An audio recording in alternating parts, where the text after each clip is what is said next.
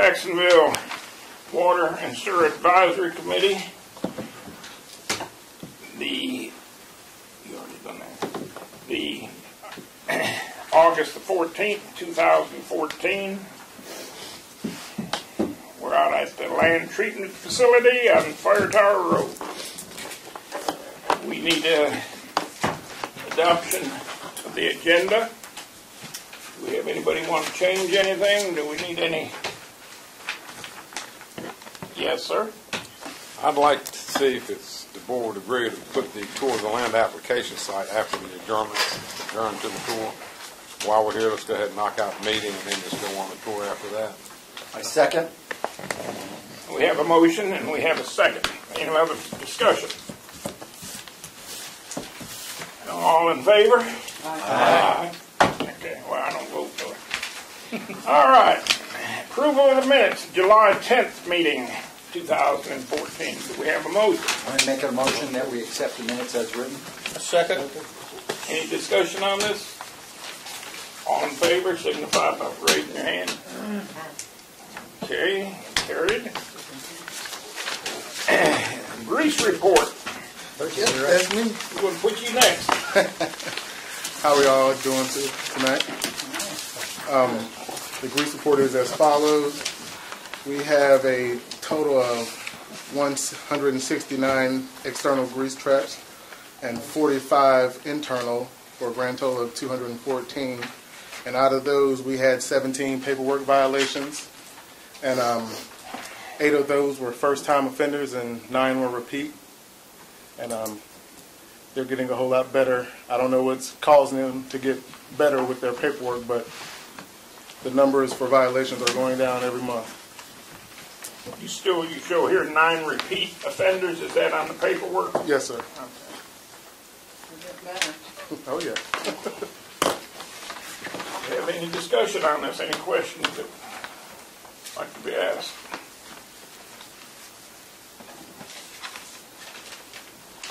Are there too many reports of a lot of new places coming along? 'Cause I know it's getting busy out there. Not, not last month. I didn't really have any new grease traps. But I don't know the next month here.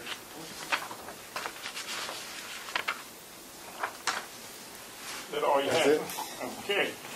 Old business. Anybody have any old business they'd like to bring up? Carmen? Tom, anybody? Anybody have any old business? All right, moving right along, as Carmen would say. New business. Do we have any new business other than what I have here? No other new business? Okay, I'm going to, uh, let me get it here. Planning Board. We had several text amendments and all like that. That was all we had this coming Mon, well, this last Monday. And I have, we elected the chairman, that was a Homer Spring. Vice chairman was Al Keys. All right, now I have here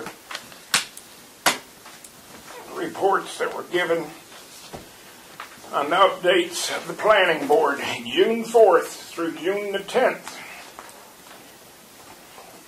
4200 and 4250 Western Boulevard.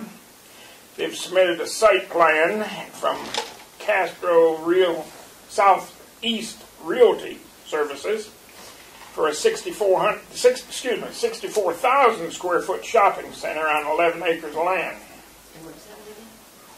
It's going to have three buildings. The primary one is going to be 41,000 square feet. A junior at 12,000 square feet, and a tenant unit at 9,900 square feet.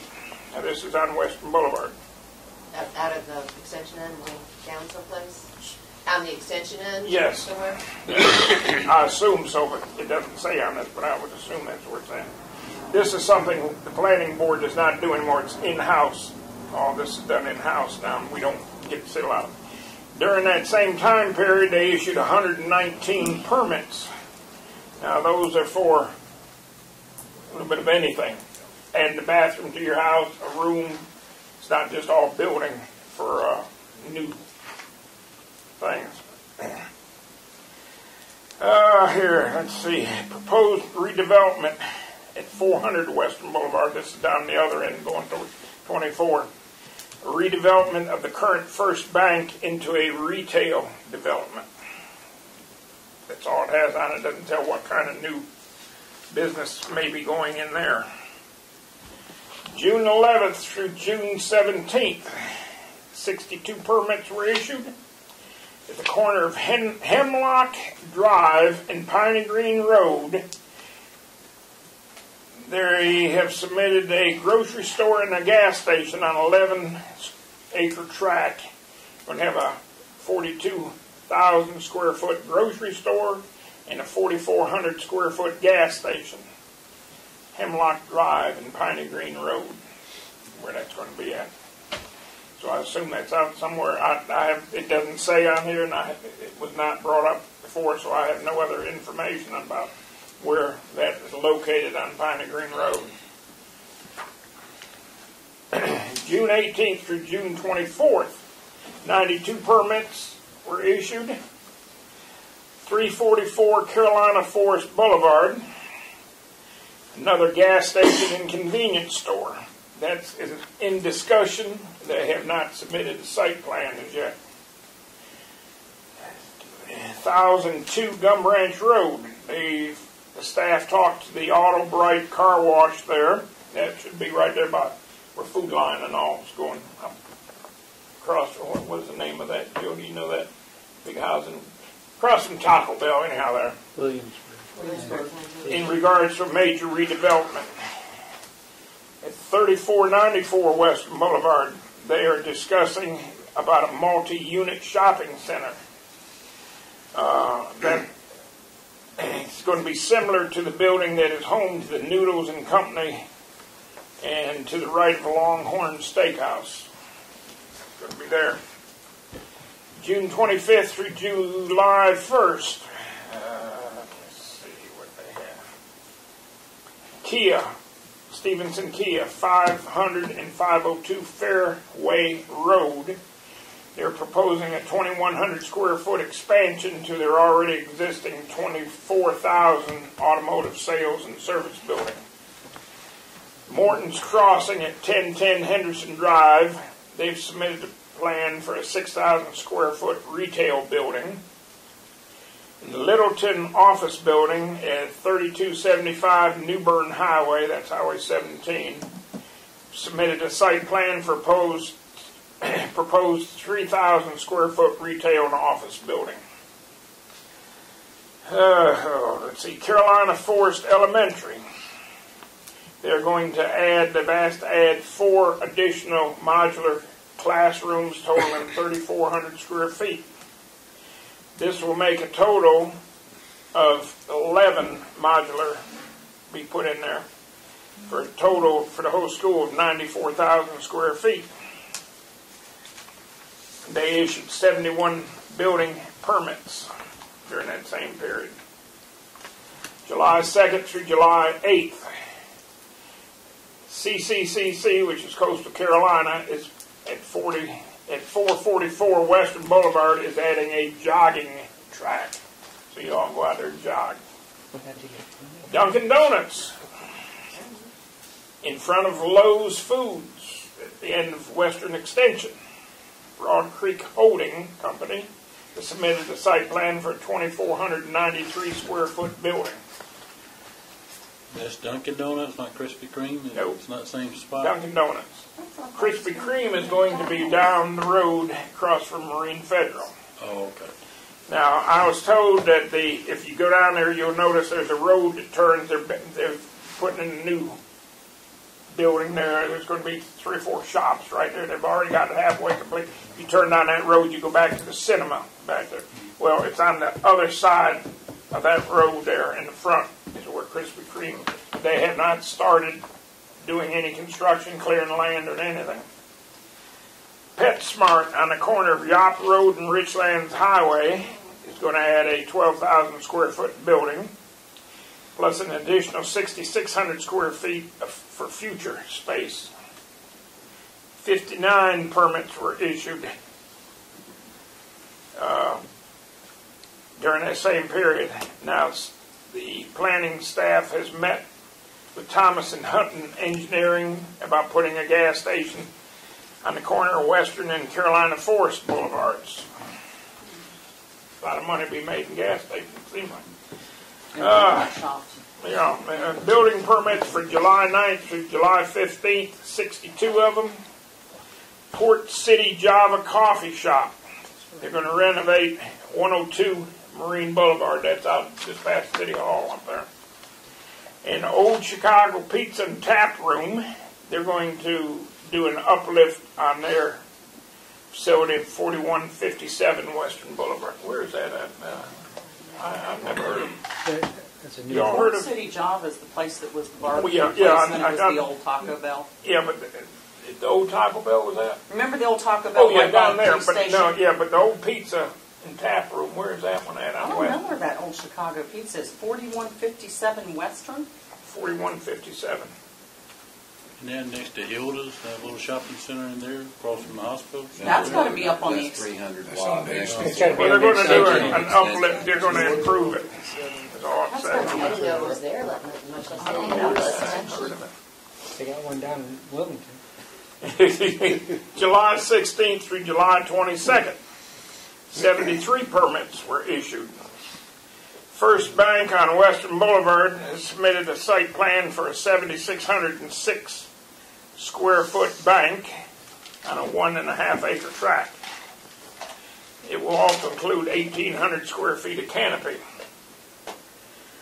608, 610 New Bridge Street. Kim Chai and what would that word? Bulgogi? Bogogi House Restaurant. That's good Food. Kimchi and Bulgogi House. Restaurant and Oh, It's Asian. on New Bridge Street. It's going to be fifteen hundred square feet. You see it? Kamichi. That's correct. Yeah. Twenty twenty-five North Marine Boulevard. It's a grease trap. They have not picked a contract yet, but a proposed Burger King that will be inside the existing Walmart. Okay. 600 North Marine Boulevard, Unit 500, is in the uplift for Lazar's Pizza. I assume that may be Mike Lazar's at 2,400 square feet. It's the same little shopping center that the new Subway's in. Yeah. well, Isn't that, is that Mike's? yes. I would Yeah. think so. I don't think there are that many Lazaros in town, are there? It's Yeah. kind of like Ayuso's, isn't it?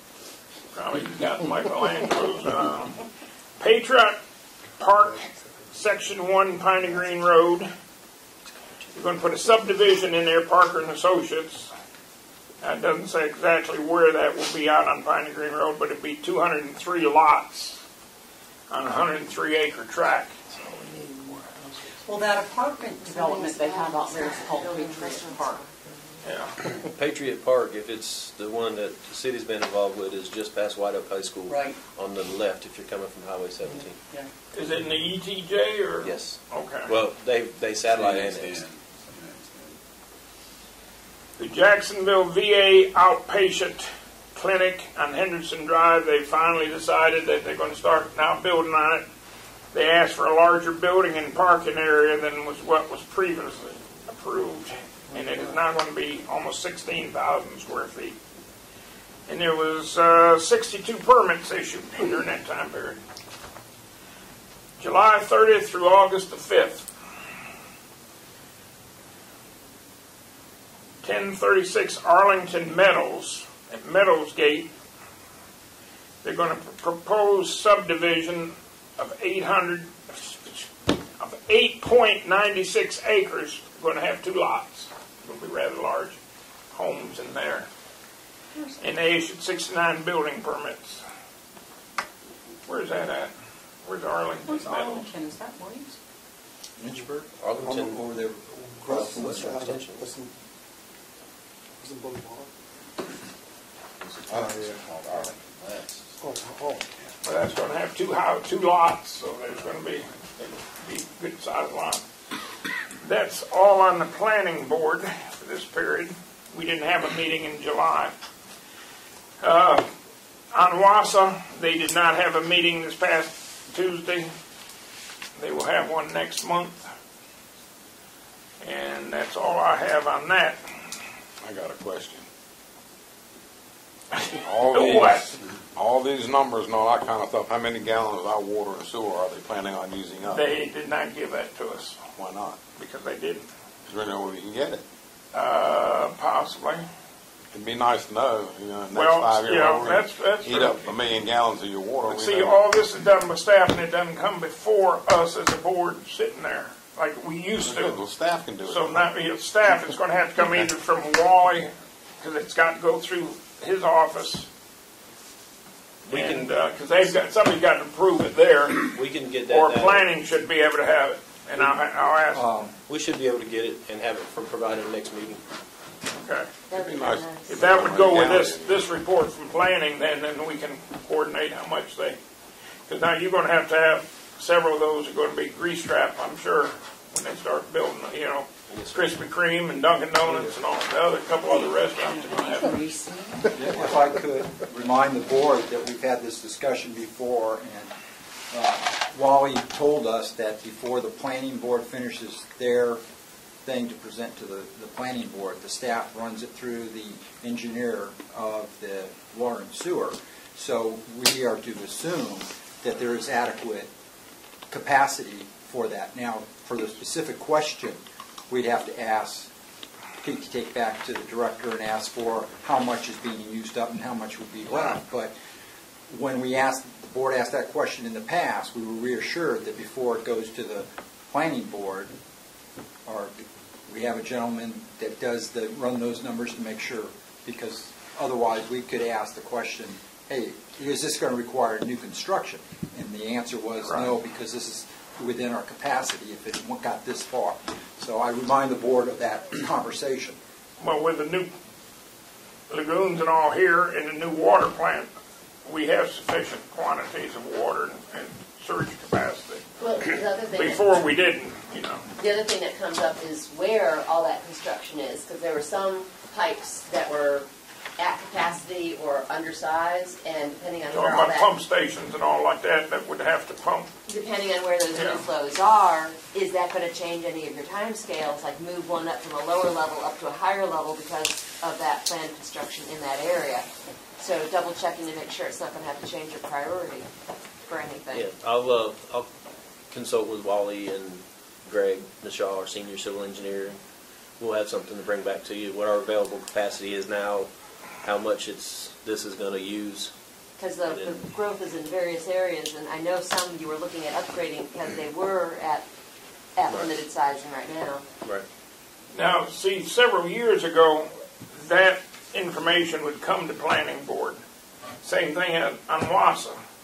But now it's been taken out of the planning board. Actually, they're, it's, it's all done in-house now. It goes to the water, it goes to engineering, it goes to police department, the fire department, everybody signs off on it. We don't even see any of that, nothing like that anymore. So we're gonna have to ask if, if Pete can get some of this, or talk to Wally and see what we can do about that. I'll talk to Pam down at planning board and see, and we can coordinate the two of them together, how much each new place, what they, ask- you know, they're gonna be using and all. We, we may end up being a month behind on the data, but we'll, we'll be able, we should be able to get you a little bit more current than what you You are. should be able to do, uh, the water and the sewage both, can't you? Yes, sir. Okay, that would be, we'll get The same that. person, the same person allocates for both, does the sewer allocation Yeah. and water allocation. And so all that information is available. We just find the projects that, that planning board has on their list that you're gonna bring to this board, and we'll have that information, and we'll try to have something compiled for you. This, they just started giving this to me last month, planning board Pam Cunningham, Yes, sir. executive secretary down there, she, I asked her about it, and she's been good enough to get this up so I could present it here. So we just, you know, if you can get the other part, we'll have that for us. Shouldn't be too difficult. Any other questions on any of that? Okay, due to Mr. Aragona's motion and all, I want to ask Pete, Mr. Chairman. I'm sorry. I'll go ahead and wait. Uh, I'm sorry. Um, fir- first of all, um, Wally extends his regards. Unfortunately, he cannot be here. Um, literally, he took one for the team last night at a, at a sports sporting event. So Why are uh, you laughing, person? we're not, we're not we're laughing with him. We're not Uh, laughing at him. Yeah, I bet you are. Uh, but unfortunately, he cannot be here. But he does extend his regards. Um, prior to adjourning for the tour, if if you would allow, I'd like to go over this. And but first, I'd like to introduce. We have some staff here that I'd like to introduce, so you can put some names and faces together and understand. And if they, uh, I may call on them to, you know, if you have specific questions on something. Um, they're out here day in day out. I am not. So um, they are the the regional experts on this. So with that, if it was all right, Mr. Chairman. Uh, First and foremost, to, to my immediate left, this is William Brown, who's our new chief wastewater treatment plant operator. He officially started Monday in this position. He is a 20-plus year veteran with the city of Jacksonville, has previous history here, the first 10 years, correct? Middle 10 years. Middle 10 years, okay. And then when the, when the plant was going on, and then he transferred to the water treatment plant when the uh, nanofiltration plant was being built. He was basically there from the first turn of the dirt to the completion. Um, And now he's um, come back out here to, um, for this, to take over as this. Uh, Right behind him is Thomas Humphrey, who's one of the seven um, plant operators here that take care of the uh, spray fields and stuff. Uh, he uh, is one of the six. Uh, If you know Novella and you know Gavin, one of the seven, excuse me. Um, in the corner is uh, Walt Rhodes, who we affectionately call Butch as a nickname. Butch is a uh, 28 plus year veteran. Uh, most of all of his stuff has been in wastewater, if I'm not mistaken. Butch, is that correct? All set first year. Okay, so 27 plus years in the wastewater side, one plus year on the water side. Butch is our uh, he is our crew leader, supervisor out here. Um, his responsibilities uh, not limited to, but maintaining the roads and the, the spray lanes, um, keeping the, the, the, the dams manicured, excuse me, the berms uh, manicured so we can do our berm inspections, make sure we don't have any issues with that. Um, that's of his primary stuff. Anything else you want to chime in with at this time?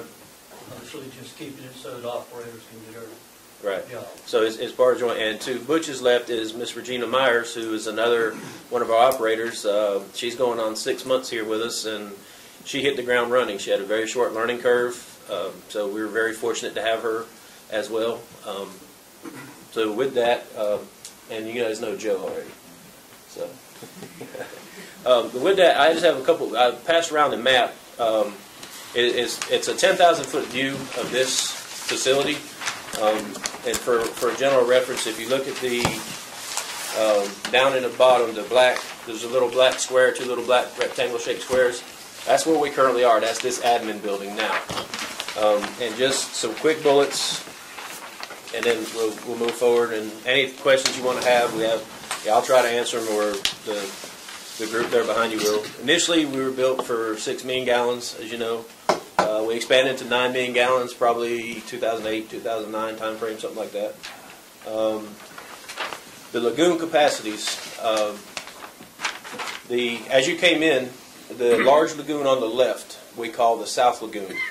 Um, as you're coming in from the gate, that uh, was designed to hold 360 million gallons. The larger lagoon on the left, I mean, excuse me, on the right as you came in is what we call the East Lagoon. That was that combined with the West Lagoon was combined to hold 362 million gallons. The aeration trains, which is the smaller square right next to the west and the east, um, according to our state permit, now this number is one that we've got to I've got to work on, but according to the state permit, it was designed to hold 7.5 million. Some say it holds up to 60 million, so that's a number that I've got to try to lock in. There's a big difference there, but it's in our state permit is what I pulled out. So that, in a nutshell, is the size of the lagoons. And I'll, I'll go on record just because we have that much storage doesn't mean that we can handle that much. Um, we, we can handle the, the, the flow is designed to bring in every day. Uh, but it makes us nervous when we go above a certain foot depth in the, in the lagoons. State permit says we must maintain a minimum two-foot freeboard. So One of the other ones, I think, is three foot, isn't it? Or they all two? It's all two feet. All two feet, okay. To That's the- why- To the lowest, to the lowest elevation of the berm. That's why William's here. Um, We spray on uh, roughly 2,000 2,331 acres of the 7,400 acres that is owned by the city of Jacksonville. So we're maybe uh, using a third of the land that we have. There's over 21,000 sprinkler heads. Uh, There's a map on that wall, and there's a map here. All these little dots are sprinkler heads. Um, So that's what uh, Thomas and Regina pretty much do every day, is make sure those are uh, where they need to be. Um, As you first come in, and we'll see when we do the tour, the very first unit that you see on the right-hand side is what we call a hyprox. This hydrogen peroxide is injected, and that's primarily an odor control. Um, this, there is some populated places out here, and they will call if it starts to smell. They will call and give us a hard time. Uh, So, and then uh, we'll come up with what we call the headworks, which is the grit removal and aeration process. Um, and then the final, which from the time it enters to the time it leaves is about six to seven days. And before it leaves, down at the far end down there, which we'll go past, is the chlorine building where it's injected with chlorine as part of the final disinfection process. Um, here, including the chemist and the lab supervisor, there are 17 employees that take care of this, this facility. You have the seven operators and the chief operator. Butch has three staff members underneath of him, and our plant maintenance side has four. We have two mechanics and two maintenance workers. That's the only people that take care of the stuff out here. Um, there are roughly 317 miles of pipe, two inch and larger, in those trees out there um, that that they maintain. Um, Butch and his crew have about 50, roughly 50 miles of roadway to maintain through the through the summer, through the winter, through the wet periods. Um, the the lagoons, when the non-dissolvable solids and stuff, when they settle, turns into a sludge in the bottom of the lagoons. Right now, there's around between four and a half and five and a half feet of sludge in the bottom of those lagoons, which is taking capacity away from us. Um, we spend, last time we did it, I think it was 2011, so 2010, 2011, we spent $300,000 just removing the sludge out of the aeration lagoons. How do you do that? Literally, you have to drain them down and have somebody come in and, and pump it out, suck it out, put it in a truck, and then it has to go to a state permitted sludge application site. They have somebody in a boat that goes out there with, that, or, Is it like Sludge septic, emptying a dredge. septic tank? Not quite that easy. Go ahead, Butch. What they do, they set up, they've got a machine that runs like water right, down into it, and they keep it pushed with water to it that'll pump it from the bottom of the lagoon into the truck, and the truck transforms it from here out to the field and sprays it, and uh, land applies it back takes over. quite a few truckloads then, doesn't it? Yes, sir, they usually come in here about three tractor trailers. It's, it's a, it's a And busy they run time all when that's day. happening. How often do you have to do it? Permit requires every three to five years. It, it depends on, um, well, fu- funding is an issue this year. Um, so, it- and it depends. We try to stretch it out. There's some, there's some ideas that we're coming up with. We're working on. They're in the very, very infancy stages of it. One being looking possibly, we have land we're not using here. If we could somehow maybe log it, clear it, and if we could get it permitted, maybe we could make our own sludge application site. Because what costs us the most is the trucks having to haul it away to a specific state permitted site. They're very, they're not that close to us, and it's that travel time.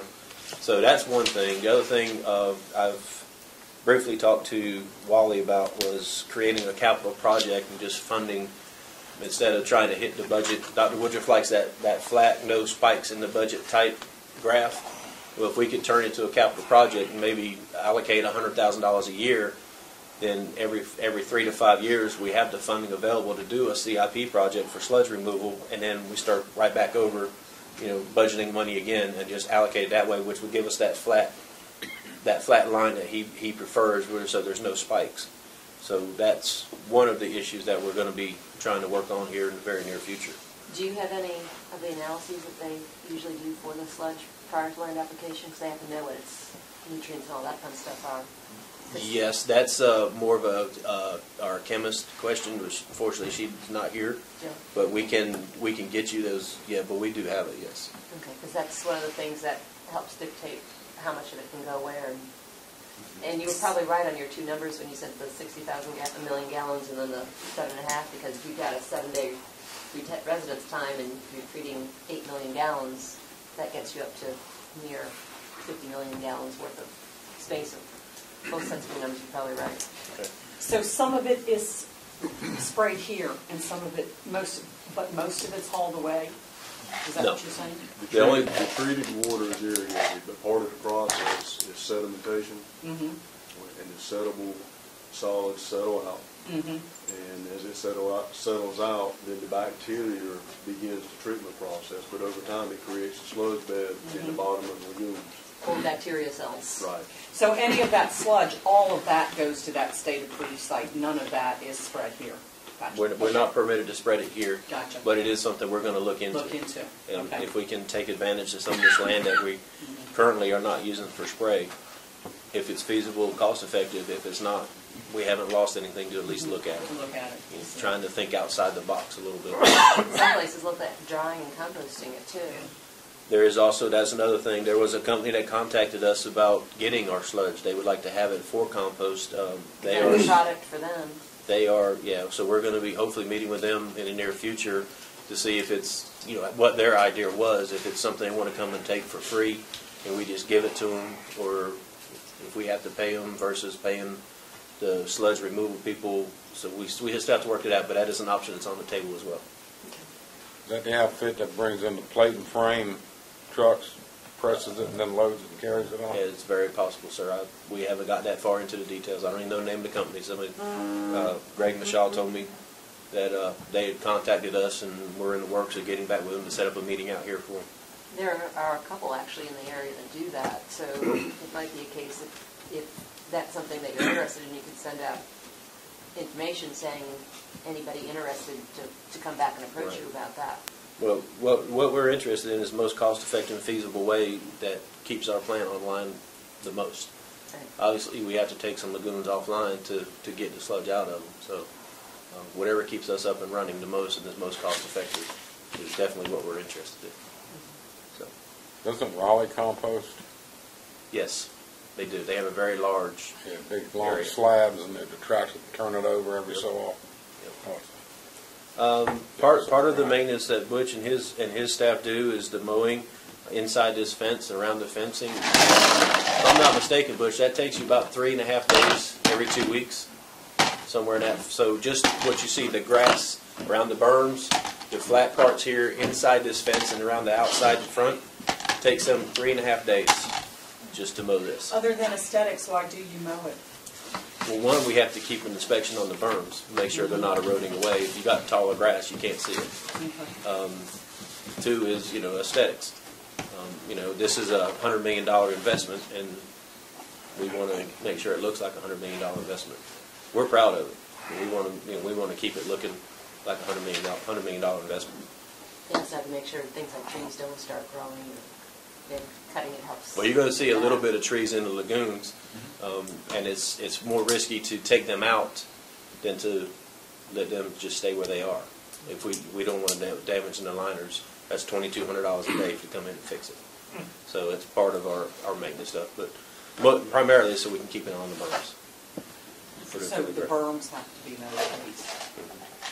And that, and that's what's the most time consuming, because he has what's called a slope mower, and obviously it's just that, he gets up there, he's, he's, he's up and down perpendicular, you know, fine, but the, the deck is tilted and it's, it's risky, and it's a slow process, but it has to be done. Um, There are, in the spray field itself, You know, like those. that was actually brought up a couple years ago.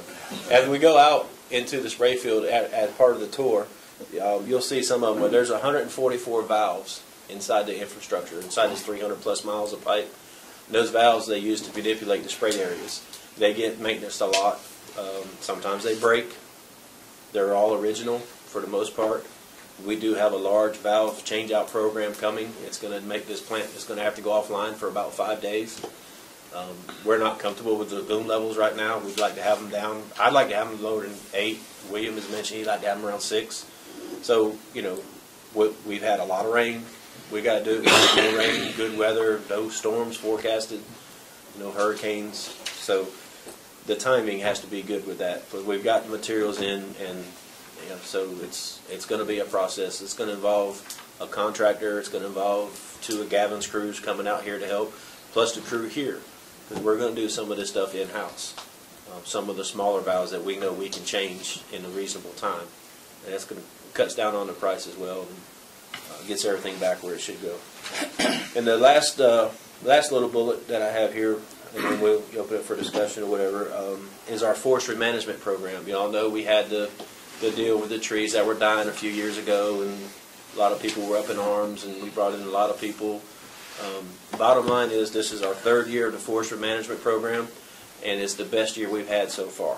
Uh, there were a lot of issues in the beginning. I will tell you up front. Thomas will tell you. Regina wasn't here, but Butch was here. It was a nightmare. There was one zone that they went in completely demolished. It was a year plus to get it back online. Uh, that was quite a bit of wastewater that we couldn't spray because of the damages. Since then, we've gotten a tighter written contract. We've gotten responsible loggers in who aren't as concerned as production as they are quality. Um, if they get their eight truckloads a day, they're happy. So that works out for us. It works out for them. Right now, it's going smoothly. Knock on wood. Hope I don't jinx it, but uh, that's going very well. So as we go out, I'll show you an area that um, that's getting ready to be uh, worked on. It's going to be clear cut. Um, supposed to be the end of this month, beginning of September. So I have a question, since Yes, you're ma'am. mentioning rainfall, how many surface acres are the lagoons? That's a good question.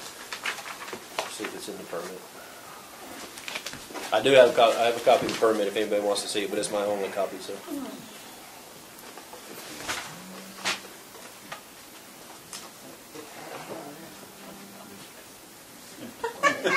You got, for every inch of rainfall, one acre is twenty-seven thousand gallons. So ten- So, so ten acres would be a quarter of a Um, million gallons. Do you have chance? I don't have that number. I mean, I'd have to sit there and do the math and break it down for you. But it, it gets back to the, the rainfall thing with, One inch of rain on an acre of land is 27,000. twenty-seven thousand gallons. yeah. Mm-hmm. So I mean, if you have ten acres, that's two hundred and seventy thousand gallons right there, and I'm sure you have more than ten acres. Um, West Lagoon is twenty-seven acres, East Lagoon is seventy acres, and the South Lagoon is seventy-nine point one six acres. Say it again, please. That's why Say we. it again, please. West Lagoon is twenty-seven acres, East Lagoon is seventy acres, and the South Lagoon is seventy-nine point one six acres. So roughly about hundred and eighty, roughly hundred and eighty acres. That's a lot of water for one inch of rain, and I know in July, we had over ten. Mhm. So that's, that's a lot of pumping right there, just from all that water. Right. We have, how many rain gauges we have, Virginia? Nine, Nine rain gauges in the field plus the one up here. plus the one up here.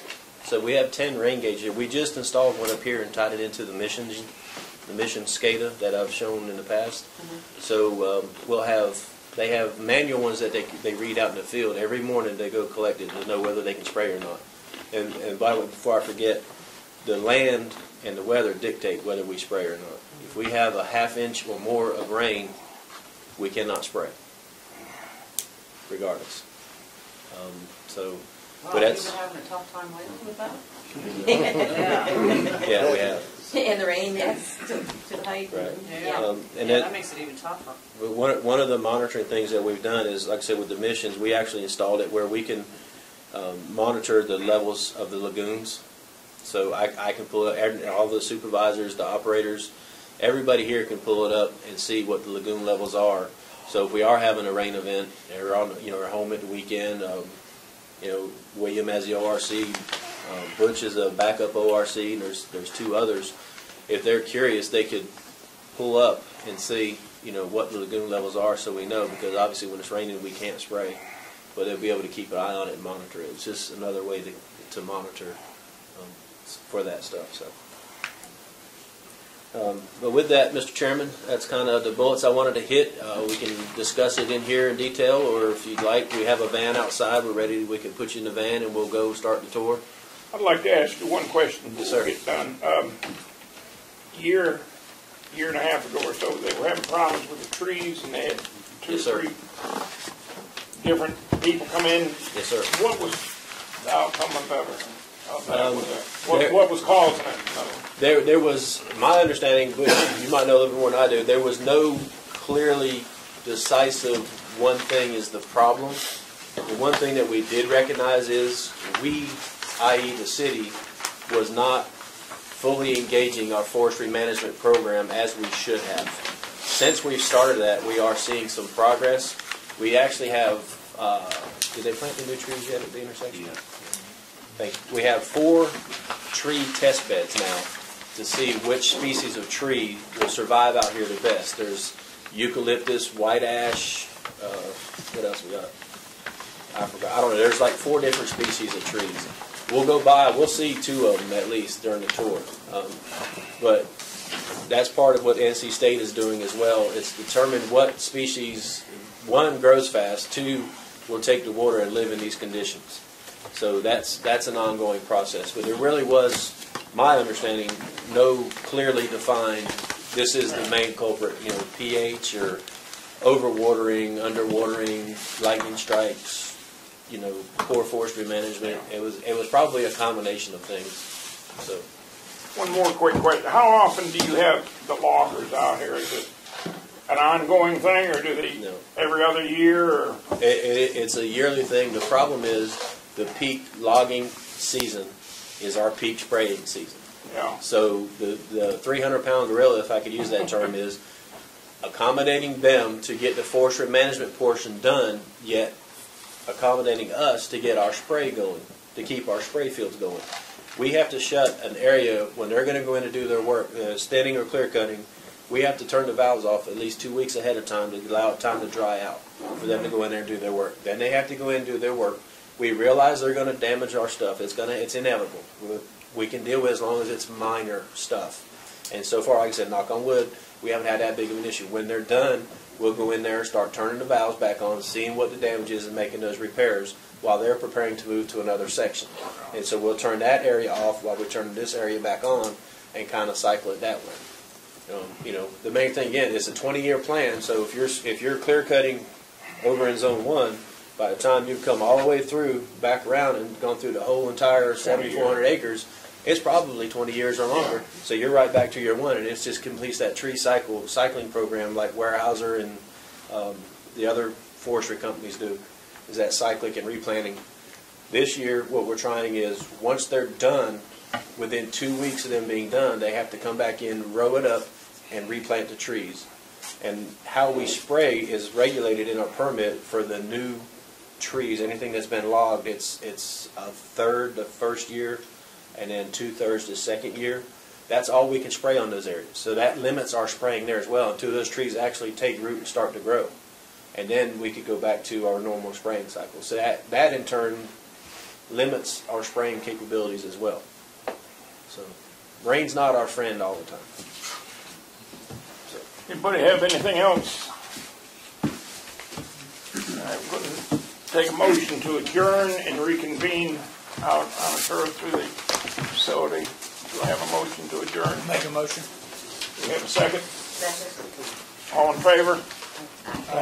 All right, you got it.